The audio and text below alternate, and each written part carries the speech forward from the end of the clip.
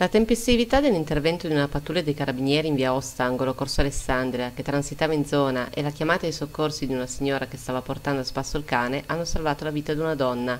È accaduto oggi, poco dopo le 16.30 a Venaria Reale. Una donna di 54 anni ha tentato di togliersi la vita.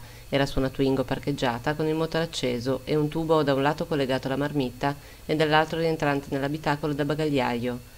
Una donna che stava portando a spasso il cane ha notato la vettura e ha subito allertato i soccorsi.